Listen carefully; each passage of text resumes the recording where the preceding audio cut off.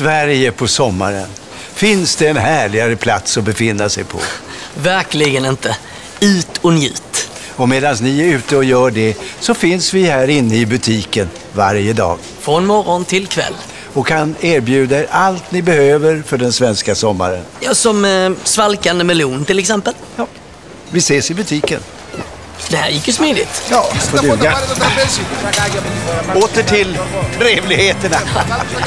Bra jobbat grabbar. Nu mår man. Skönt att slippa Sverige. Det regnar säkert. Kallt i vattnet. Och fästingar. Ja, skönt att slippa allt sånt där. Ja, men hej! Jo, man tackar. Såg du hunden ena? Hon var sjukt lik min mamma.